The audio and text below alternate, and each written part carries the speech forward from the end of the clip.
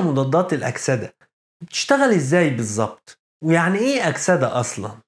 الأكسدة ببساطة هي نزيف للإلكترونات الموجودة في المادة النزيف ده بيتسبب في تآكل المادة وتلفها وهو ده بالظبط اللي بنقول عليه في حالة الحديد مثلا الصدأ راستنج ونزيف الإلكترونات ده زي ما بيحصل للحديد بيحصل جوه أجسامنا برضه إزاي؟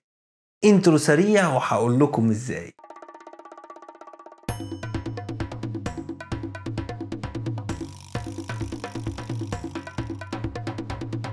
أهلا بيكم في فيديو جديد من خضرونيوم وكيمياء الحياة. معاكم محمد خضر والنهاردة هنتكلم عن مضادات الأكسدة antioxidants التفاعلات الكيميائية اللي بتحصل جوه أجسامنا بينتج منها نواتج ثانوية خطيرة جدا اسمها الشوارد أو الشقوق الحرة free radicals الشقوق الحرة دي عبارة عن نواتج كسر رابطة زي دي مثلا بشكل متماثل homolytic fission يعني الإلكترونين اللي كانوا بيكونوا الرابطة دي بيتوزعوا بشكل متماثل على كل شق. وساعتها كل شق من دول بيبقى معاه إلكترون واحد مفرد وخلونا نرمز لهذا الإلكترون المفرد بالقطعة البيضاوية دي. إيه بقى الخطير في الشقوق الحرة دي؟ الخطورة كلها بتيجي من الإلكترون المفرد ده. الطبيعي في الأيونات إن الإلكترونات الحرة الغير مرتبطة بروابط بتتواجد في صورة أزواج. كل إلكترونين بيونسوا بعض. لكن في حالة الشقوق الحرة الإلكترون المفرد الوحيد ده بيخلي الجزيء مستثار ولا قط بري في موسم التزاوج ومستعد للتفاعل بأي شكل عشان يلاقي ونيس للإلكترون الوحيد ده. والنتيجة إن الشق الحر ده بيخبط في أي مركب في طريقه وينتزع منه إلكترون بشكل عنيف جدا. يسبب تلف جزئي أو دمار كلي لهذا المركب اللي حصل له النزيف الإلكتروني فيما يعرف بالأكسدة. والشقوق الحرة الهايجة دي بقى بتتولد بشكل طبيعي داخل أجسامنا طول الوقت بكميات صغيرة. وأجسامنا بتعرف تتعامل مع الكميات الصغيرة دي عن طريق توظيفها في بعض العمليات الحيوية. مثلا أحد آليات جهاز المناعة بتستخدم الشقوق الحرة دي كقذائف كيميائية لتدمير الجراثيم والأجسام الغريبة. وأجسامنا برضو بتحتوي على مركبات قادرة على امتصاص طاقة الشكوك الحرة دي وإبطال مفعولها التدميري وهي دي بقى مضادات الأكسدة اللي هشرح لك بتشتغل إزاي طيب طالما الجسم بيعرف يتصرف مع الشكوك الحرة الخطيرة دي فين بقى المشكلة؟ المشكلة هو إن الجسم لما بيتعرض لمستويات عالية من الملوثات أو الإجهاد الناتج عن العادات الغير صحية زي التدخين أو العك في الأكل أو حتى مجرد التعرض لأشعة الشمس المباشرة لفترات طويلة. كل ده بيرفع من تركيزات الشقوق الحرة دي داخل أجسامنا لمستويات أعلى من قدرة أجسامنا على احتواء خطورة الأسلحة الكيميائية الصغيرة دي. وساعتها طوفان الشقوق الحرة دي بيستنزف الإلكترونات اللي محتاجها من خلايا الجسم فيتلف الخلايا دي ويمرضها. ويمتد التلف ده للأنسجة فيعجل من ظهور أعراض الشيخوخة. والشكوك الحرة دي ممكن كمان تخبط في الحمض النووي داخل الخلايا. الدي إن إيه فتشوهه وتسبب طفرات تؤدي لتكون الأورام والسرطانات وأمراض خطيرة كتير. طب والحل إيه؟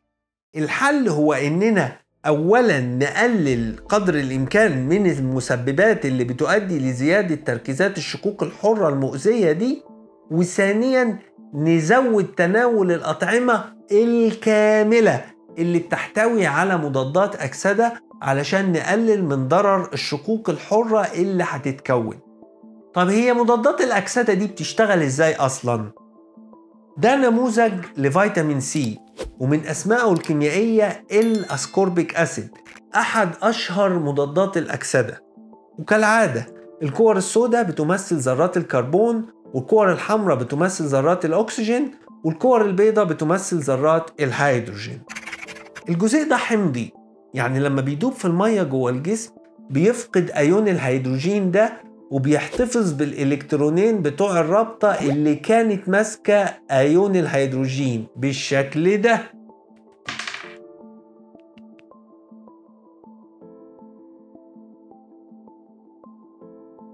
ولما بيقابل شق حر هايج طليق زي ده بيديله إلكترون من الاتنين دول ويقول له خد يا عم الإلكترون اللي انت عايزه اهو واهدى كده واقصر الشر وسيب خلايا الجسم في حالها. وبكده يكون الإلكترون اللي كان هنا ده خد الشر وراح وضحى بنفسه بدل ما كان الشق الحر ينتزع إلكترون من أحد خلايا الجسم ويسبب تلف فيها. ويتبقى إلكترون وحيد هنا. واحد يقول لي الله طب وإحنا كده عملنا إيه؟ ما هو كده الجزيء ده هيتحول لطور هايج برضه علشان يونس أم الإلكترون الوحيد ده وكده هيخبط في خلايا الجسم برضه. هو الجزيء ده اتسمى مضاد أكسدة أونطة يعني.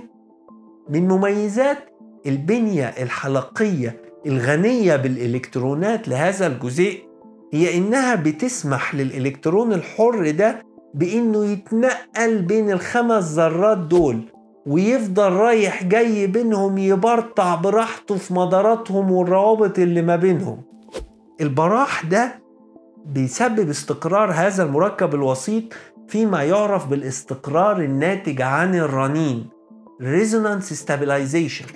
لأن الإلكترون ده لما بيجي هنا الرابطة دي بتروح هنا فتقوم الرابطة المزدوجة دي تتركز هنا وبعدين للخلف در وكل حاجة ترجع مكانها وهو ده المقصود بالرنين. تواجد صور مختلفة لتوزيع الإلكترونات داخل الجزيء. اللي كل صورة منهم بتتسمى صورة رنينية أو بنية رنينية Resonance Structure. وكل ما يزيد عدد الصور دي يزيد استقرار الجزيء اللي بيفضل يبدل بينهم في رنين مستمر زي البندول. بالإضافة لتعدد الصور الرنينية جزيء فيتامين سي ده حمض ثنائي القاعدية diprotic acid أو dibasic acid يعني إيه؟ حمض ثنائي القاعدية يعني الجزيء الواحد منه يقدر يفقد أيونين هيدروجين. والحمض الأحادي القاعدية بيفقد أيون هيدروجين واحد بس وثلاثي القاعدية بيفقد ثلاثة وهكذا. وزي ما الجزيء ده فقد أيون الهيدروجين الأولاني اللي كان هنا لما داب في المية يقدر دلوقتي يطرد أيون الهيدروجين ده برضه ويحتفظ بالإلكترونين بتوع الرابطة اللي كانت ماسكاه هو كمان. وآدي الإلكترونين.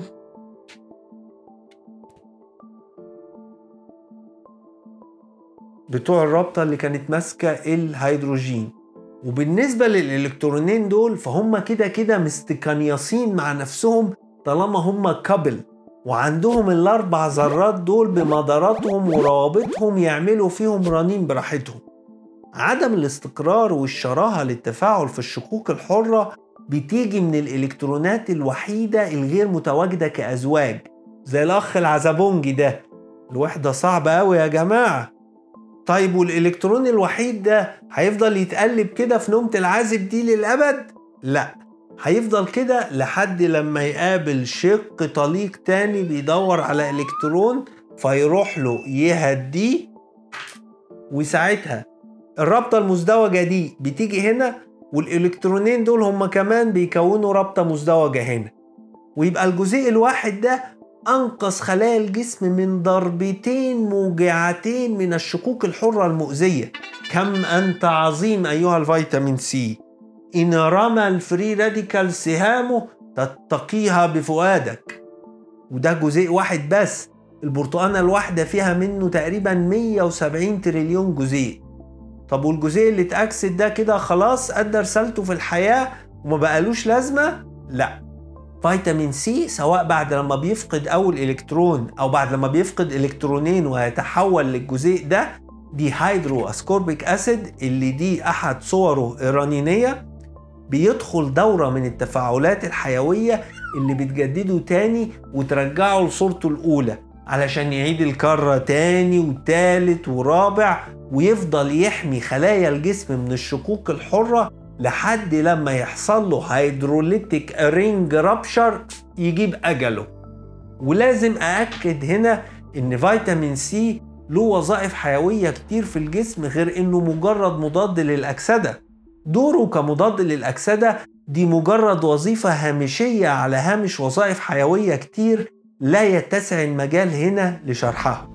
وطبعا فيتامين سي هو مجرد مثال على نوع واحد بس من مضادات الأكسدة اللي بتنقسم لأكتر من 11 نوع. بيختلفوا عن بعض في البنية الجزيئية والصيغ الرنينية إلا أنهم جميعا بيشتركوا في القدرة على امتصاص طاقة الشقوق الحرة وإبطال مفعولها التدميري. وطبعا كل نوع من دول بيختلف في كفاءة الفعل المضاد للأكسدة وأفضل نتائج صحية يمكن تحقيقها عن طريق خلط أكتر من نوع في الغذاء اليومي. ومضادات الأكسدة اللي بنحصل عليها مباشرة من الأغذية الكاملة الطازجة أفيد بكتير من اللي ممكن نحاول نتعاطاها من خلال ما يسمى بالمكملات الغذائية. وعلى سبيل المثال لا الحصر هتلاقوا في المصادر دراستين بيوضحوا إزاي مضاد أكسدة مهم زي فيتامين E لما بيتاخد بغباء عن طريق المكملات الغذائية بيسبب سرطان البروستاتا. دي كانت لمحات مبسطة عن الأكسدة والشقوق الحرة ومضادات الأكسدة والرنين. أتمنى أني أكون قدرت أوصل لكم معاني المفاهيم دي. شكرا على المشاهدة والدعم وحتى نلتقي في فيديوهات قادمة أنا في انتظار تعليقاتكم واقتراحاتكم وأسئلتكم والسلام عليكم.